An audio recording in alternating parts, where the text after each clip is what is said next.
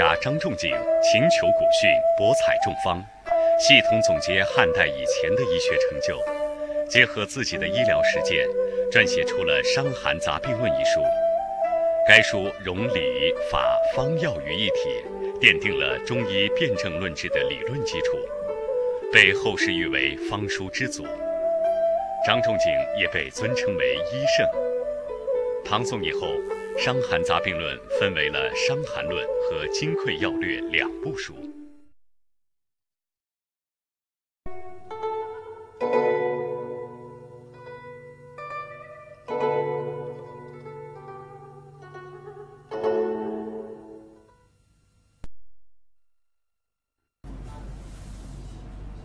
呃，大家好，我们开始上课。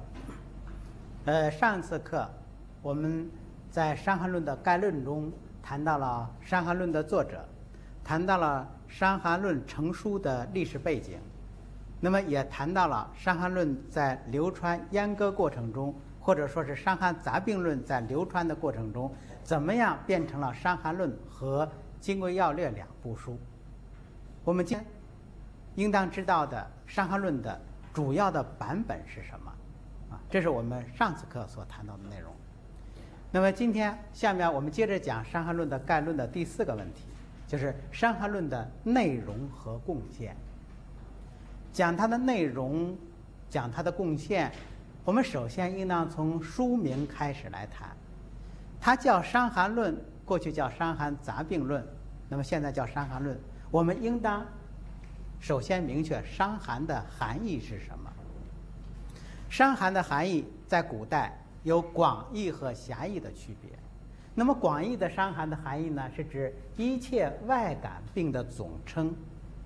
那么这里的外感病是由于风寒、暑湿、燥火，乃至包括一力之气、外来的邪气伤人以后所发生的疾病，通通的就叫外感病。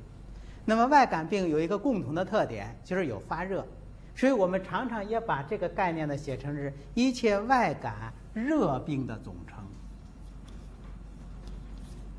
这个热病不是指的邪气的性质，而是指的这个病症的特征是以发热为主要特征的，啊，就是一切由于外来的邪气所导致以发热为主要特征的症候，在古代都叫做伤寒。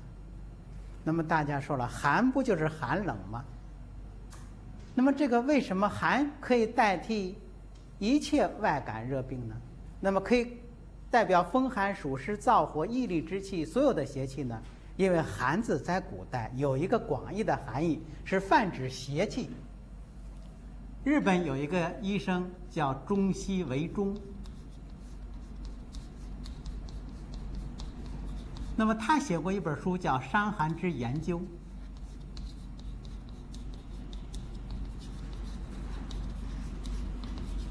在《伤寒之研究》里，他说过这样一句话：“他说，为邪而为寒，盖古义也。”也就是说，把这个“邪”字叫做“寒”，这是古代原有的意思。所以，伤寒之所以有广义的含义，含义是指一切外感热病的总称，是因为“寒”字本身就可以泛指邪气，啊，泛指邪气。那么，不仅在医学上是这样，在文学上也是这样。呃，大家可能有的读过《孟子》，《孟子告子篇》就有在描述一段话说。啊，说现在的皇上呢，执行的这些政策有时候不怎么英明。那么大家就跟孟子说：“你呢，能够经常见到皇上，你见到皇上以后呢，你就给他提一些合理的建议，让他执行宽厚的政策，利国利民。”孟子就说了一段话，说：“吾见也憨矣。”说我见皇上的这种机会和时间也是很少，吾退而寒之者至矣。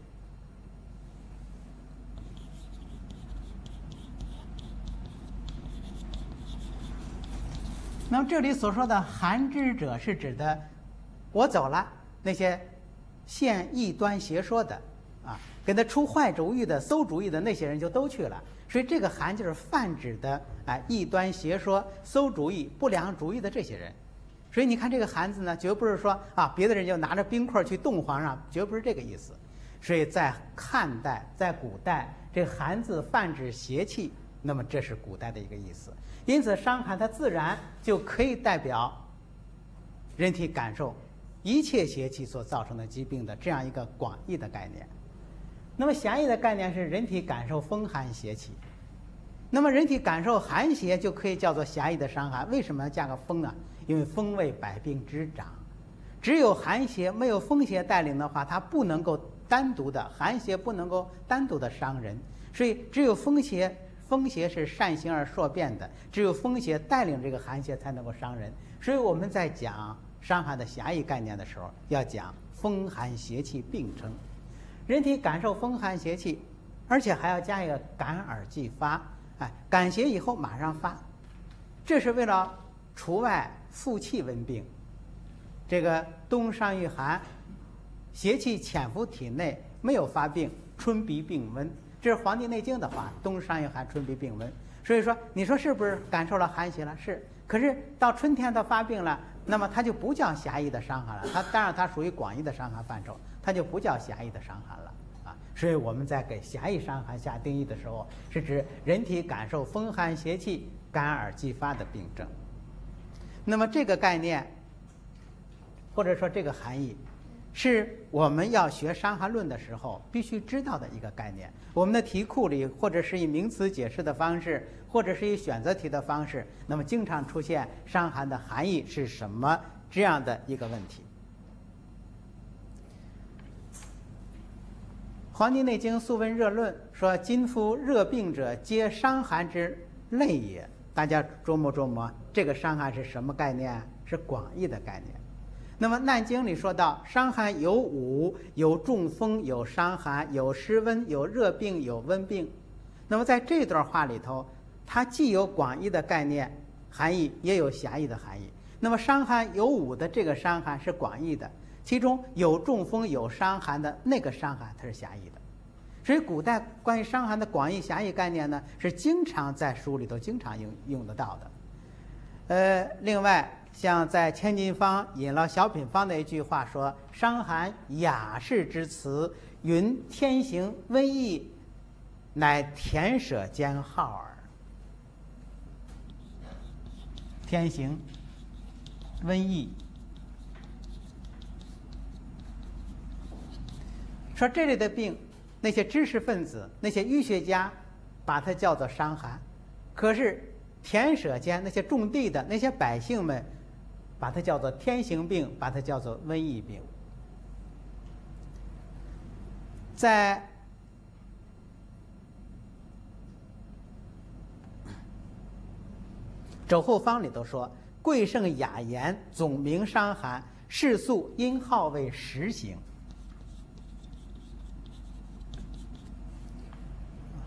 还是那些达官贵人、那些知识分子、那些医学家，说文雅的话，把这类的病叫做伤寒，而民间的百姓把它叫做实行。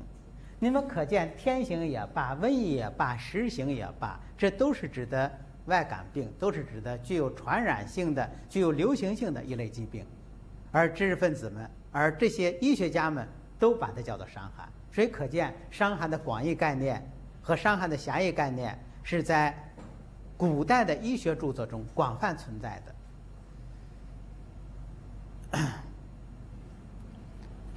这个现代医学传入中国的时候，啊，传入中国以后，那么他要把西医的术语翻译成中文，那么翻译的时候，他自然就要寻找汉语中固有的一些词汇来翻译西医的术语。那么由伤寒杆菌、副伤寒杆菌引起的那种肠伤寒和副伤寒啊，那么在翻译的过程中怎么办呢？那么找来找去，这些伤寒是以发热为主要特征的长伤寒、副伤寒啊，那么就从中医的这个伤寒里头选了一个词，就选了个伤寒。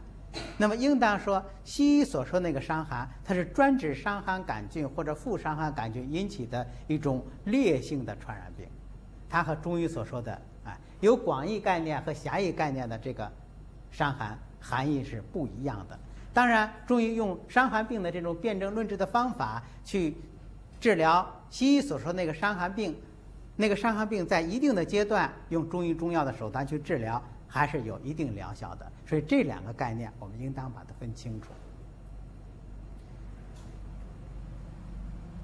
伤寒论，或者说伤寒杂病论，那么杂病是指的除了外感病之外的其他的一切疾病，在古代就叫杂病。那么这个论是什么意思？不像论的含义，不是我们今天所写个论文。我在这里引用了刘勰《文心雕龙》里头的一句话，说：“论也者，弥论群言而言义理者也。”弥就是广泛的意思，论就是收集的意思。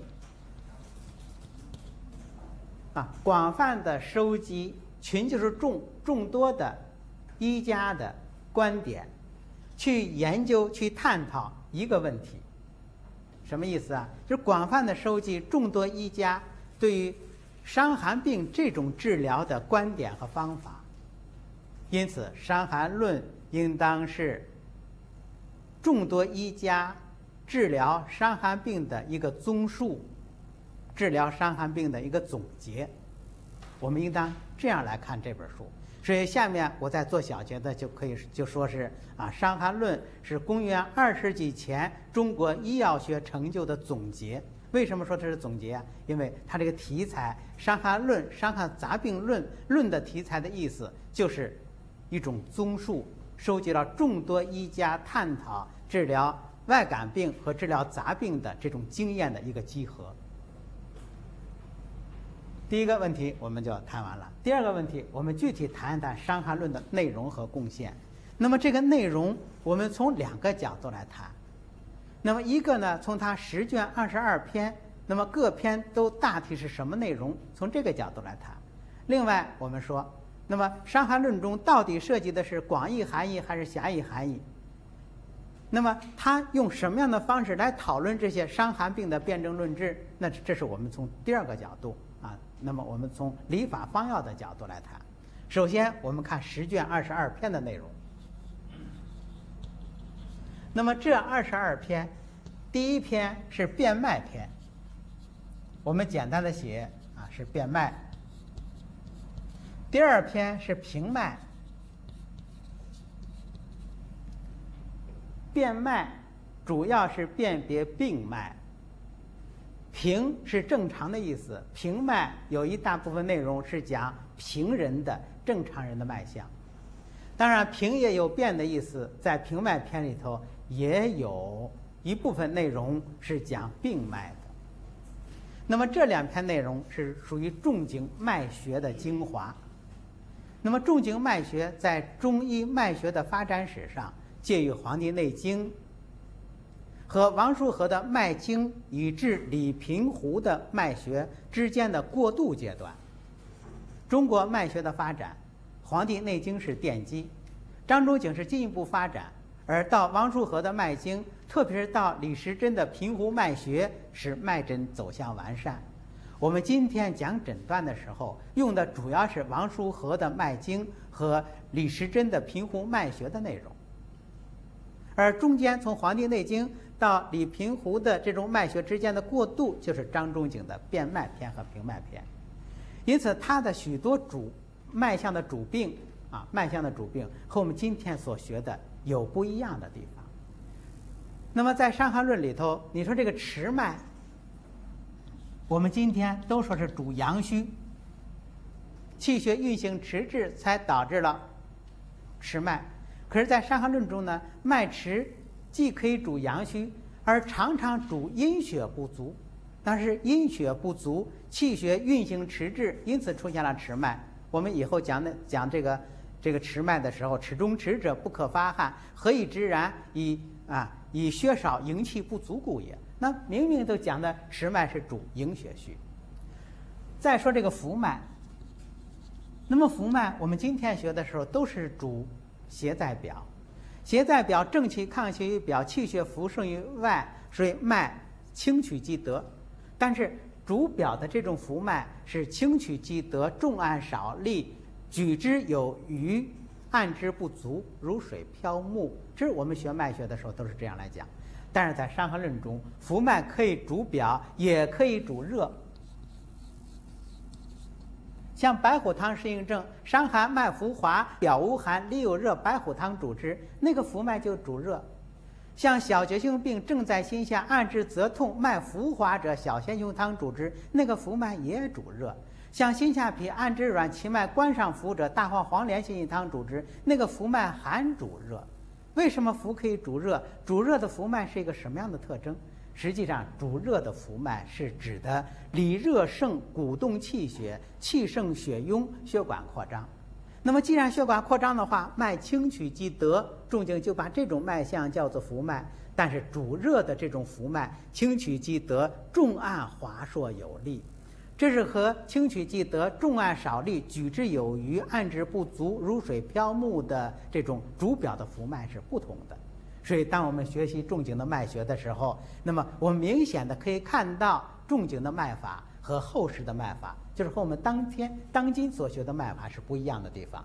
如果大家想研究一下，在中医脉学发展史上，由《黄帝内经》到《脉经》到李平湖的脉学之间过渡阶段的脉象主病的话，那么你可以看《伤寒论》的辨脉篇和平脉篇。第三篇是《伤寒例》，《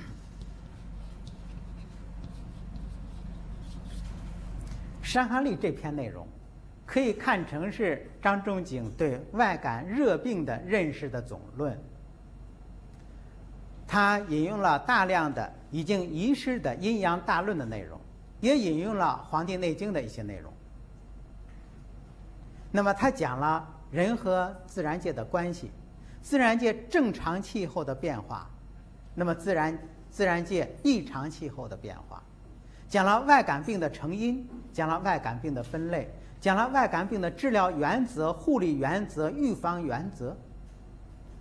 所以我们可以把它看成是仲景对外感热病的一个总的论述，可以看成外感病的总论。我想讲温病的老师肯定也提到了《伤寒历》对温病学的贡献，所以关于腹气温病的问题，关于这个在《伤寒历》中啊，都可以见都可以见得到。那么第四篇是静湿液，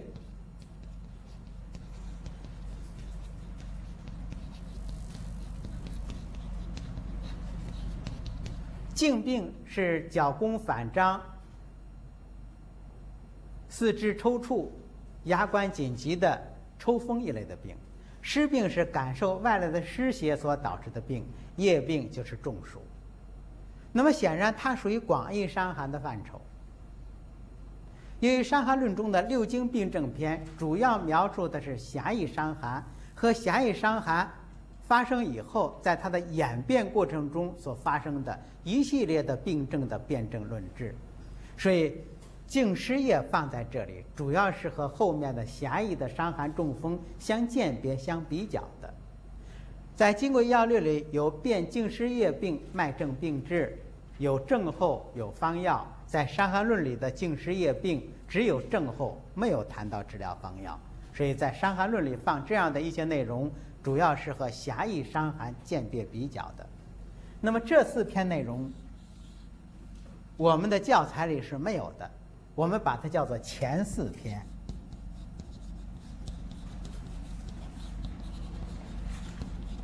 如果大家作为一个专门的《伤寒论》的研究学者，啊，那么像刘景元老师，他作为一个温病学的研究学者，那么他一定要研究《伤寒论》中的伤寒例。要专门作为一个诊断教师、诊断教授，要研究脉学发展历史的话，那么一定要研究《伤寒论》中的辨脉平脉。中间有十篇，那么中间这十篇内容，就是变太阳病脉症病治上第五，变太阳病脉症病治中第六，变太阳病脉症病治下第七。太阳病篇分了上中下三篇，然后就是变阳明病、变少阳病、变太阴病、变少阴病、变厥阴病，然后变。霍乱病脉症病治第十三变阴阳易差后劳复病脉症病治第十四，从第五开始到第十四中间有十篇内容，这十篇内容我们就把它叫做六经病症篇。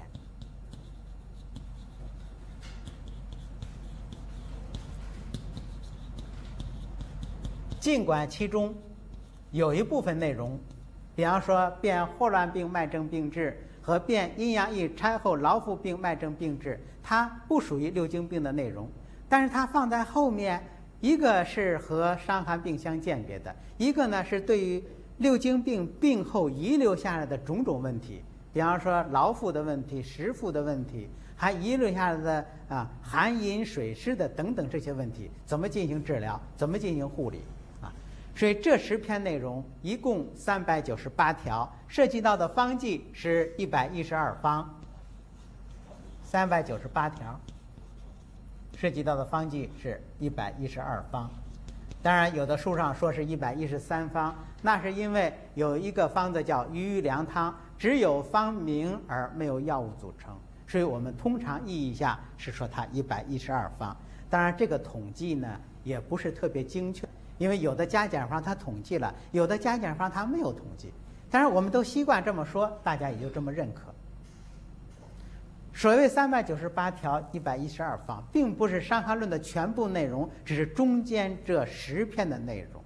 而我们在大学里，我们的《伤寒论》的五版教材，它的原文就选自于这三百九十八条之中，大概选了三百多条。而我们在本科阶段要求大家特别熟悉、特别掌握，甚至要求大家能够背会的条文，也就是一百多条。我给大家选了一百一十二条，也就是一百多条啊。那么这样的话，前四篇加上中间十篇才十四篇，还有八篇，我们把它叫做后八篇。后八篇是是什么内容呢？第十五篇。是变可发汗病脉症病治篇。哪些病可以发汗？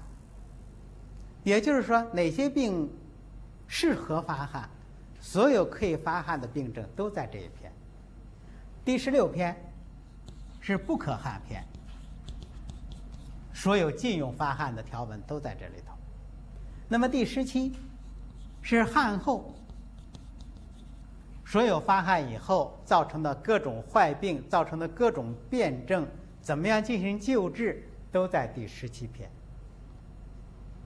那么这些原文，绝大多数出自中间的六经病症的条文，也有一部分条文呢不见于六经病症篇。所以从总体来看，后面的内容是前面的六经病症篇。按照治法重新进行归类的归类和编排的一种东西，但是有一些很重要的条文并不见于六经病症篇。那么我们作为《伤寒论》的研究，后面这八篇内容也一定要去了解。你比方说，在归之汤方后，关于发汗的要求，他说要求变身折折微似有汗者一家，不可令如水流离，并必不出。那么变身折折，折折就是小汗出的样子。变身什么叫变身？是不是说，哎，心口窝后背见到汗就叫变身？在前面都没有交代。在《变可发汗病症脉症病治篇》里头，他说的非常清楚，说凡发汗，欲令手足俱周。什么叫变身呢？就是叫手脚都见到汗，要是手脚都出了汗。啊，凡发汗，欲令手足俱周，赤是讲的对周遍的注视。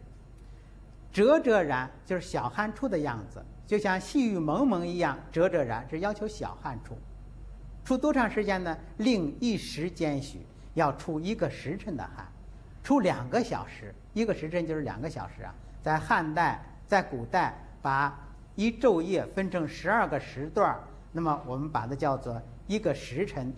那么现在呢，我们和国际接轨，把一昼夜划分为二十四个时段为了和中国传统的计时能够区别开，所以我们把它叫做小时。小时小时就是把十二个时段分成二十四个时段以后啊，我们把它叫做小时。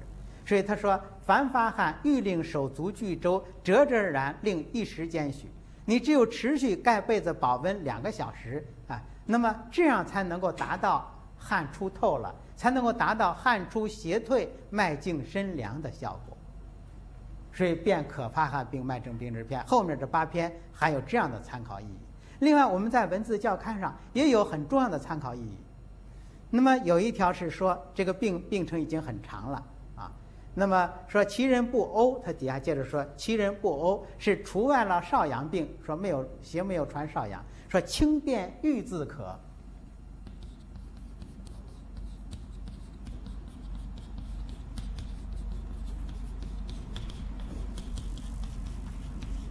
清是指的便排拉。便就是大便，轻便就是拉的大便。为什么这样解释？我后面会说。拉的大便，欲字可，可优异也，就是正常，大便是正常的。这个欲字可，如果当做欲字讲的话，那那肯定是现在还不正常，啊。实际上我们在后面的轻便欲字可，它做轻便续字可，啊，轻便续字可。由此我们知道。在太阳病篇的轻便玉字可，这个玉字应当是续字的通假。为什么可以是通假呢？因为玉和续在古代是同一个韵部的字，同一个韵部的字就可以通假。但是同一个韵部的字很多很多，你必须有证据才能够通假。什么证据呢？同本以互鉴，啊，或者是别本以见例。或者是同本以互证，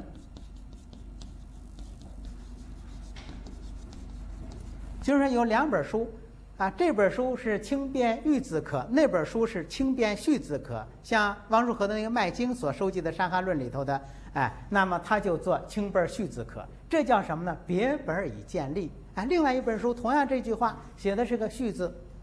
那么同本一互证，在太阳病篇是轻便玉字可，在可发汗病脉证病治篇是啊，在可下病脉证病治篇是轻便续字可。那么由此就证实欲通续，这就像我们在座的大夫啊，那么你写一本书，这本书里头呢，你开你的经验方是个钩藤，同时你在你开你的处方啊。当然，你的书里头很严格，是钩藤。结果你开处方呢，你开了个钩钉。两千年以后，你这个著作是当时人们学习的一种规范。两千年以后，人们还发现了你的开处方的手稿。哎呀，这个处方上写着钩丁，他的书上写着钩藤，他们就考证，在哎公元两千零二年前后，那个藤和丁是同一韵部的字，而且呢，又有一同一个医生。在书上是这个藤，在方子上是这个丁，丁通藤，所以通假字就是这样来的，所以我们在读张仲景的书的时候，可下篇是轻便续字可，而辨太阳病脉症病治篇是轻便玉字可，那我我们就可以知道了，那个玉通续，所以那么他排的大便持续是正常的，那就提示并没有传入阳明。好，我们接着讲后八篇。所以后八篇，无论在文字的校刊上，还是对前面的内容补充上，我们要深入研究《伤寒论》的话，都应当有所了解。第十八是可吐，第十九是不可吐，第二十是可下，第二十一是不可下，第二十二是汗吐下后。十卷二十二篇的内容就是这么多啊。后面这八篇，可发汗不可发汗，汗后可吐不可吐，可下不可下，汗吐下后，我们可以把它叫做可与不可，可与不可诸篇，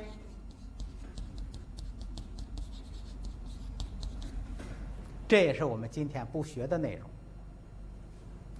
那么这就是《伤寒论》十卷二十二篇的全部内容。我们既然要学伤寒，啊，不能光看一看讲义，我们起码应当知道《伤寒论》原书十卷二十二篇每篇大体是什么内容。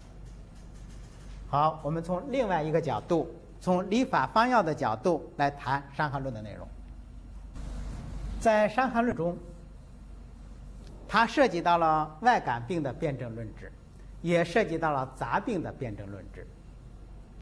但是，无论是外感病的辨证论治也罢，还是杂病的辨证论治也罢，它都贯穿了理、法、方、药。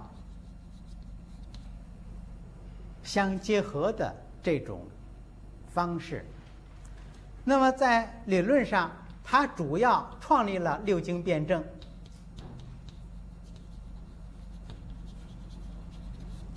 创六经辩证体系。我们说，在张仲景之前，中医学的著作分了两大类，一类是基础理论的。班固的《汉书·艺文志》把它叫做医经，另外一类是经验用方的《汉书·艺文志》把它叫做经方。那么基础理论的缺乏临床的实际治疗，《黄帝内经》只有十三方，今天看起来实用的也不多。啊，那么经验用方呢，像出土的五十二病方和治百病方，那么缺少理论的指导。而只有到了张仲景的《伤寒杂病论》，他用六经辨证的方法来辨外感病；而在《金匮要略》里，用脏腑经络辨证的方法来辨杂病。而这种辩证方法是在理论指导下，辨出证来之后，据证立法，然后方随法出，这样一个辨证论治的诊疗体系才落实到临床上。所以他在理论上创立了六经辩证体系。那么六经辩证体系的具体内容，我们下面讲第五个问题的时候，我们还会专门谈到。由于张仲景《伤寒论》六经辩证体系在临床上的实际应用，这就使个体化的治疗方案是我在我们上课一开始就提到的，啊，到今天仍然保持着领先地位的一种优化的治疗方案的选择。那么就是由六经辩证这种方法在临床的应用开始实施、开始体现的。这个法包括治则、法则嘛，包括治则和治法。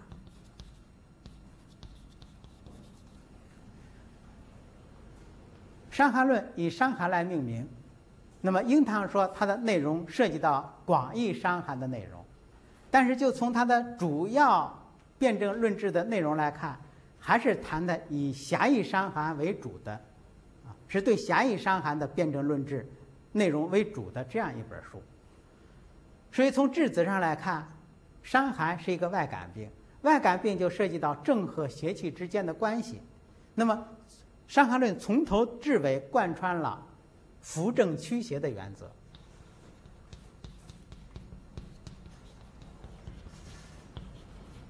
扶正是为了驱邪，驱邪是为了扶正。后世一家把它总结为扶阳气、保胃气、存津液。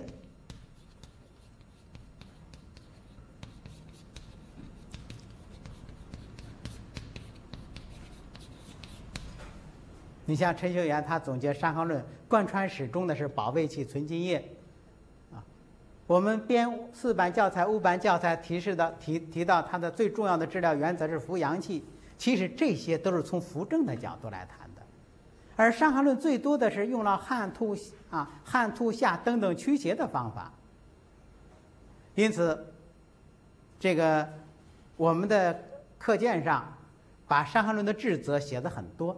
实际上就是归纳起来，就是扶正驱邪两大方面。哎，扶正是为了驱邪，驱邪是为了扶正。驱邪的时候不忘扶正，不像有的时候啊，你像十七世纪有一个英国的医学家，他用的一种方法是对抗疗法。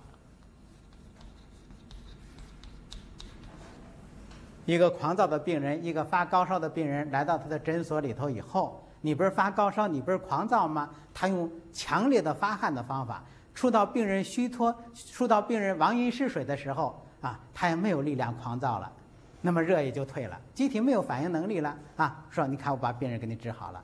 如果还不行的话，他用放血的方式直接放到病人处于一个失血性、接近失血性休克的状态。你说他还狂躁吗？不狂躁了，病人老老实实在那躺着，眼睛又不睁了。好，我把病人给你治治好了。你说他还发烧吗？他也不发烧了。你一试体温，不仅体温不不高，甚至体温还偏低。好，拉走吧。常常拉到半路上，病人就死掉了。啊，所以他是只去邪而不扶正。而《伤寒论》啊，在一千八百年以前就强调了扶正驱邪。这个治疗原则，所以这个治疗原则在今天还是有非常重要的临床意义的。在治法上，《伤寒论》把中医所说的八法，在临床运用的非常非常的好，或者说，所谓的八法，就是从《伤寒论》中总结归纳出来的。汗法治疗邪在体表，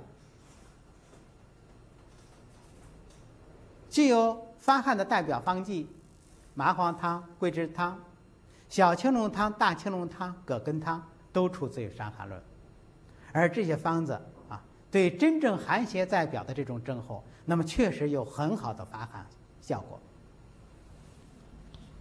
吐法我们今天不再不怎么常用，但是在中医的历史上。吐法可以治疗许多复杂的疑难的病症，吐法的代表方像瓜地散就出自于《伤寒论》。下法是《伤寒论》中最常用的，也是涉及到方剂最多的一个方法。下法的代表方像三承气汤，像桃核承气汤。三承气汤是泻下燥热，桃核承气汤是泻热逐瘀，抵挡汤是啊破血逐瘀，也算下法的范畴。茵陈蒿汤是利湿清热、利湿泻热退黄啊，它也用到了代黄，也可以算下法的范畴。像麻子仁丸的润下，像蜜煎方、土瓜根的导下，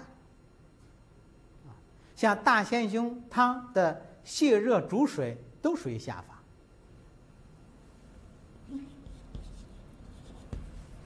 合法。对于合法，我们通常用和解这两个词。对于和解的理解，有的人说是调和，实际上我的理解它不是调和，因为和解的方法主要治疗枢机不利的症候。那么枢机不利，人体的人体的这个枢机有两个，一个是少阳半表半里这个枢机，一个是中焦半上半下这个枢机。上阳半表半里的枢机是调气的升降出入的，而中焦半上半下这个枢机主要是调气的升和降的。人活着全凭一口气，人体的气一定是流畅的，一定是畅通畅通无阻，一定是调达的。所以许多疾病呢，就是因为气不和所造成的。我们遇到气不和的这种症候，那么抓哪个环节、抓哪个关键来调节呢？就可以抓少阳这个半表半里的枢机，也可以抓中焦半上半下的枢机。那么因此，对于和解的理解，我把它解释为和枢机解郁结。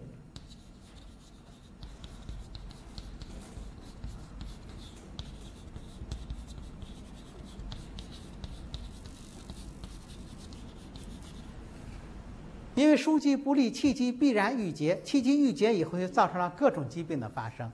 所以和解应当理解成是和枢机解郁结，啊，把这两个词的词组的第一个字合起来就是和解。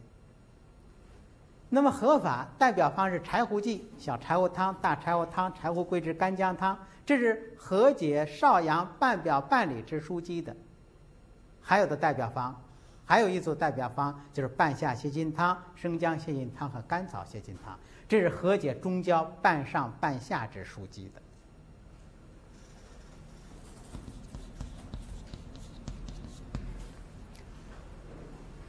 温法的代表方就是大家非常熟悉的理中汤、四逆汤、通脉四逆汤这一类的具有助阳驱寒作用的方剂。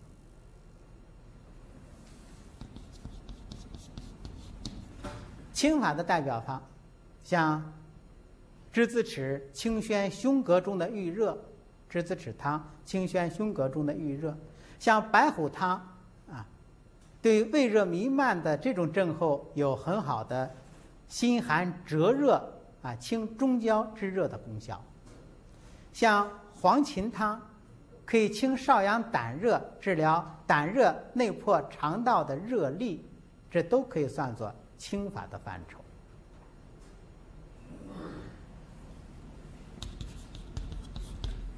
补法的代表方像炙甘草汤，治疗气血两虚、心脏失养、脉脉搏不续的脉结带心动悸，它是补气啊，气血双补的。像小建中汤，它具有温中补虚、合理缓急的作用，可以治疗心中悸而烦，又可以治疗气血两虚、腹部经脉失养的。腹中拘积疼痛，这可以算补法。消法像抵挡丸，它具有化瘀缓消的作用，它用于治疗太阳虚血症、瘀热都比较和缓。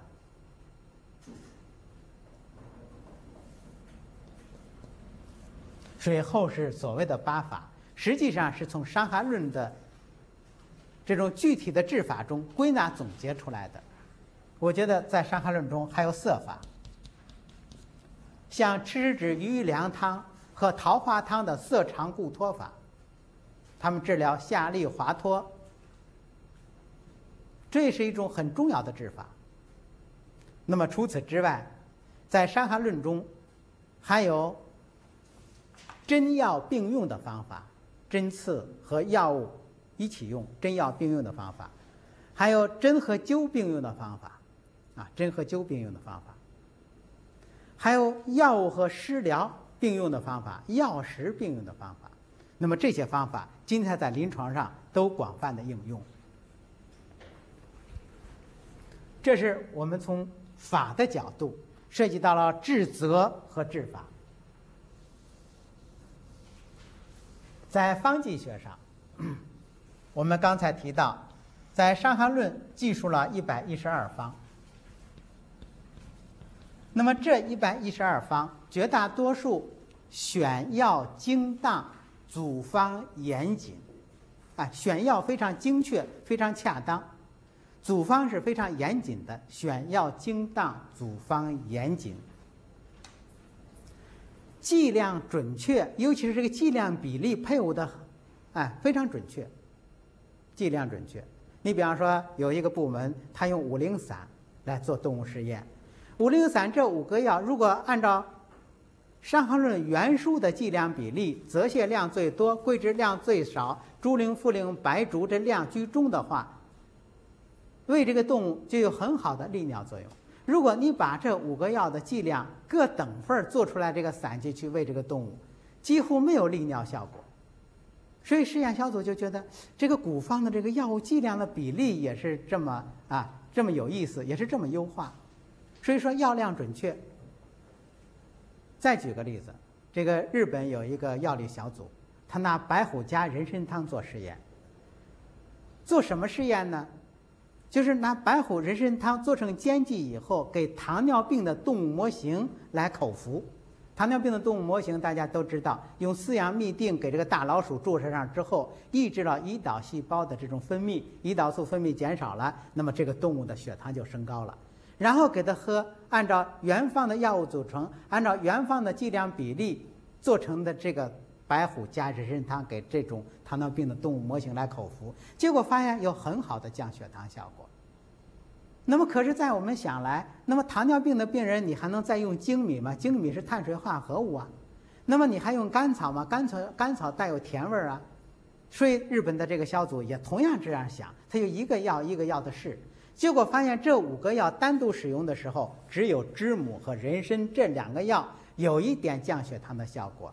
至于粳米、石膏和甘草这三个药单独使用不降糖，那么于是后他们就想了，整个方子的降糖作用会不会就是知母和人参加起来所产生的效果呀？结果这两个药合上之后，煮完了这个汤剂给这个糖尿病的动物模型来来喝，发现并不能提高降糖的效果。然后他们就调整知母和人参的药物之间的剂量比例，发现把人参用多了之后，降糖作用不仅不提高，反而下降了。因此，他们认为单独使用具有降糖作用的这种知母和人参之间，可能在剂量比例上不适当的时候，它们的降糖效果反而具有拮抗作用。好，知母单独使用加上石膏，降糖作用提高。那人参单独使用加上石膏，降糖作用也提高。所以石膏单独使用不降糖，但是它对知母和人参的降糖作用具有协同效果。接着做实验，把知母和人参两个药放在一起，把人参用到降糖作用接近消失的时候，加入石膏，发现降糖作用可以提高。随着石膏量的增加，降糖作用逐渐提高。当然这是有限度的，啊，石膏加到一定程度之后，你再加量，它降糖作用也不再提高了。那么在这种情况下，依次加入单独使用没有降糖作用的粳米，降糖作用进一步提高。那么再加入甘草，降糖作用又进一步提高，说明石膏、粳米、甘草对整个方子的降糖作用都有协同效果。现在五个药都用齐了，降糖作用没有恢复到原方的水平。为什么？这次试验的时候，人参的量是用多了。当把人参的量降到原来剂量的水平的时候，降糖作用最好。把人参拿掉，就是白虎汤，发现降糖作用又很差。所以日本这个药理实验小组非常奇怪，不知道中国的古人是用什么样的方法找到了这样优化组合的方药组成，找到了这样优化的剂量比例啊！你看他们的报道，最后就是非常奇怪，不知道用什么方法找到的。所以我说《伤寒论》一百一十二方，选药精当。配伍严谨，多一个药少一个药都会影响疗效。然后剂量准确，疗效可靠。你看这些方子，你说清热的，它就是清热；你说发汗的，它就发汗；你说泻下的，吃完了不用多长时间，它肯定是泻下；催吐的，立竿见影，喝下去就要吐出来。啊，所以疗效可靠，不仅经得千百年来临床实践的检验。也经得起现代的实验室中的药理试验的检验。在药物学上，《伤寒论》用药不多，一共在七十六味。不过我要说明的是，统计的方法或者说统计的指标不一样。有的人把哎开水呀、这个呃清江水呀、雨水呀，就是主要的这个水都给加进去，那个他算的药数就多。我这里所说的七十六味药啊，不包括那些特殊的水。当然，我包括了清酒，清酒作为一个溶酶啊，我也把它包括进去了。那么这些药在炮制上都非常严格。你比方麻黄要去节儿，所以昨天有个老师说，那问我啊，有个老师问我说，麻黄为什么要去节儿？我说麻黄节儿和麻黄根是敛汗的，哎。麻黄呢是发汗的，在麻黄汤里用麻黄，要求是发汗的，取得发汗的作用，当然要把麻黄节儿去掉。那么桂枝要去皮，说桂枝本身就是桂树的细枝，它有什么皮可去啊？实际上，桂在汉代，桂枝和肉桂是不分的。所谓桂枝去皮，说你采了这么大多桂啊，那么要把带有粗皮的这个粗的枝子要去掉。因为那个粗的那个带有粗皮的这个东西呢，它不是走表的，它是走里的，它有温里的作用，那就是我们后世的肉桂了。所以要把哎有温里作用的带粗皮的这些粗的枝子去掉。哎，杏仁要去皮筋儿，附子要是回阳救逆的话，它总是生用；要是温里散寒的话，它总是泡用，从来没有发生一次。啊，说该生用的他用了泡附子，该泡用的他用了生附子，从来没有发生一次这样的产物，所以在药物学上也是有巨大贡献的。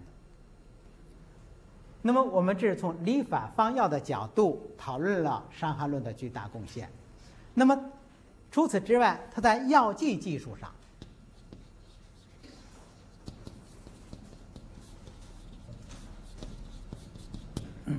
什么叫药剂技术呢？那么中药它的剂型涉及到汤剂、丸剂、散剂、膏剂，啊，这个丸散膏汤。那么在《伤寒论》里涉及到灌肠剂，涉及到寒剂，你看我们今天的寒片，在《伤寒论》里虽然不是寒片，哎，它就有寒剂。那么还涉及到肛门栓剂，你像蜜煎方就属于肛门栓剂。在《金匮要略》里还有吹鼻剂、滴耳剂啊，阴道做药，那剂型就更多了。所以这是药剂技术。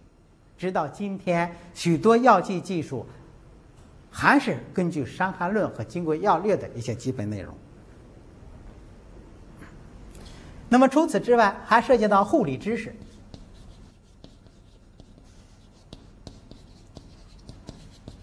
吃了药以后，应当有哪些饮食是要禁忌的？怎么样去发汗？这都涉及到护理知识。所以，《伤寒论》不仅是中医临床医学的奠基，它还是药剂技术发展的基础，啊，也是中医护理学的奠基。你将护理学的讲义开始一讲中医护理的时候，首先提到的就是《黄帝内经》，随后提到的就是《伤寒论》。这样的话，我们给这段内容做一个小结。啊就是《伤寒论》的内容和贡献，做这样一段小结。首先，我们说，《伤寒论》是中国医学史上啊，《伤寒论》是中国医学史上现存最早的。我们为什么说是现存呢？如果哪一天有哪个古墓又出版了一部比《伤寒论》还早的、还完整系统的临床医学著作，那个时候我们可以把这句话再改一改啊。所以我们说，《伤寒论》是中国医学史上现存最早的一部一部完整系统的临床医学著作。啊，临床医学著作，它是公元二世纪前中国医药学成就的总结。它是公元二世纪前中国医药学成就的总结。这两句话，我们是讲《伤寒论》。在中医学发展史上的地位。那么底下就讲它的内容，它以理法方药相结合的形式，它以理法方药相结合的形式，论述了论述了多种外感病、多种外感病和许多杂病的辨证论治。它以理法方药相结合的形式，论述了多种外感病。和许多杂病的辨证论治，并且涉及到中医的药剂技术和护理知识，啊，并且涉及到中医的药剂技术和护理知识，这是我们讲它的内容。我们下面要归纳总结的是它的贡献，他所创立的六经辨证方法，他所创立的六经辨证方法，并将其。运用于临床，啊，并将其运用于临床，这就使辨证论治的诊疗原则在中医临床医学上确立下来。这就使辨证论治的诊疗原则，诊是诊断，疗是治疗，啊，这就使辨证论治的诊疗原则在中医临床医学上确立下来，并且作为中医的特色之一。并且作为中医的特色之一，一直沿用到今天。我们不是说中医的特色是辨证论治吗？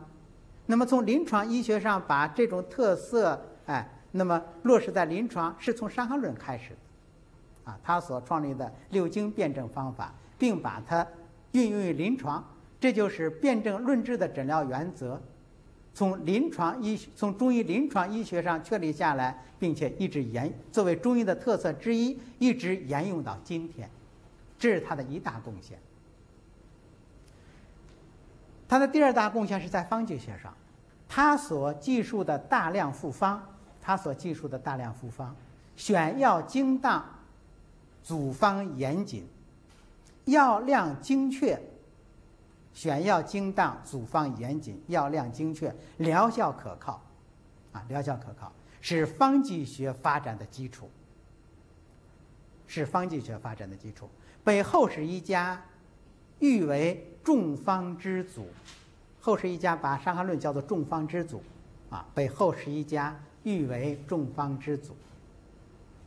因此，《伤寒论》的问世，啊，《伤寒论》的问世。就为中医临证医学的发展树立了里程碑，啊，《伤寒论》的问世就为中医临证医学的发展树立了里程碑，并且是中医药剂学、中医方剂学、中医护理学等等多学科发展的基础。首先说，它是临床医学为临床医学的发展树立了里程碑，而且是中医方剂学、中医药剂学、中医护理学发展的基础。好，这节课我们就上到这里。